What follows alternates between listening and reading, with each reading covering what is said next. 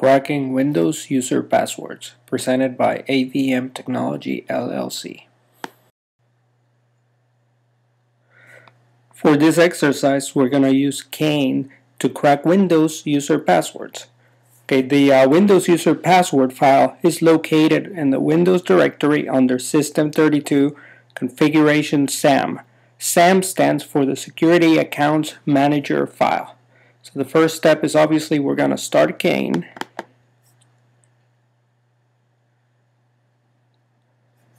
So you can see uh, the Kane interface has uh, several tabs.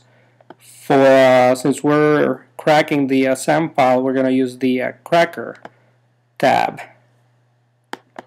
We're going to uh, begin by going to File, Add to List, and we're going to see about important hashes from the local system first.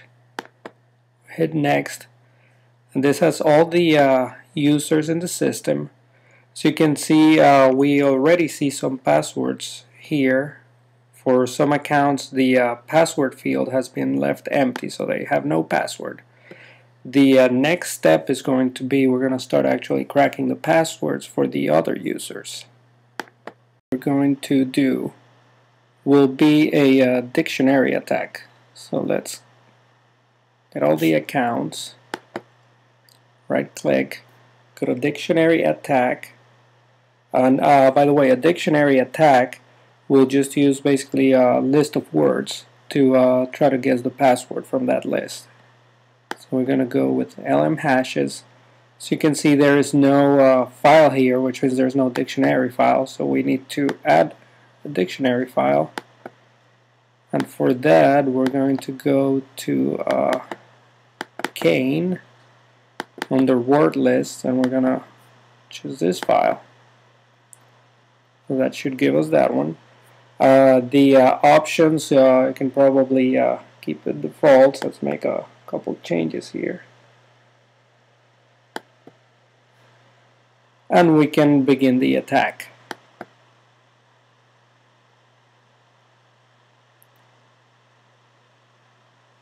So you can see it's taking a little bit of time. So uh, we're gonna pause here for a second and we'll be back when I uh, discover some of them. In the meantime, you can just uh, let it uh, go on its own.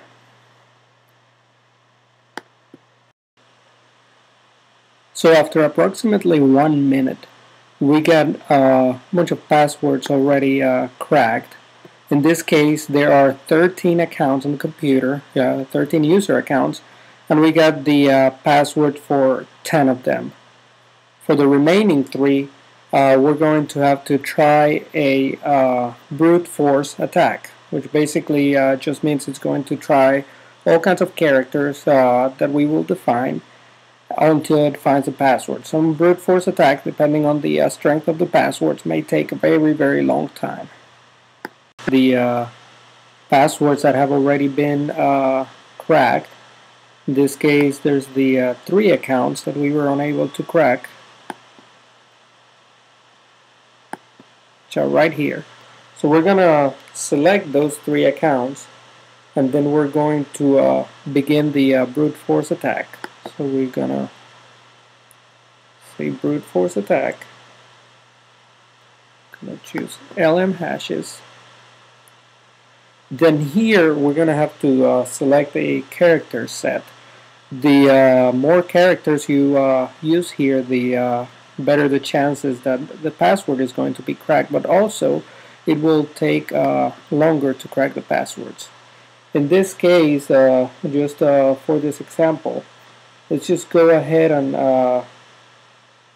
and choose the this one here with the letters and numbers. And we're going to do the length between 1 and 7 and then we're going to begin the attack hit start. The uh, in terms of the uh, time left, this number is going to vary. It could go up to uh, 10 days, 20 days, even longer. The, uh, don't pay attention to that number right now.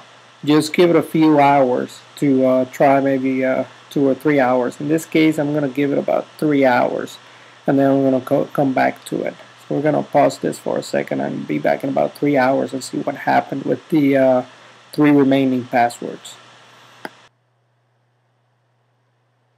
So about an hour and a half or so later, you can see that all the password uh, passwords have been cracked. So now when we look at the uh, username and password uh, list, we have all the uh, accounts that actually had uh, associated password have been able to to be cracked.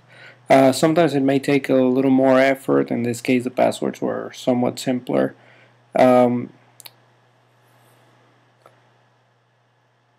and uh, actually uh, Kane uh, you can modify the settings add uh, special characters and other methods it might take longer to go through the uh, process but uh, uh this uh, th this can help you understand the uh, importance of choosing strong passwords and using different characters in order to keep other users from using tools like Kane to crack your Windows password. Cracking Windows User Passwords, presented by AVM Technology LLC.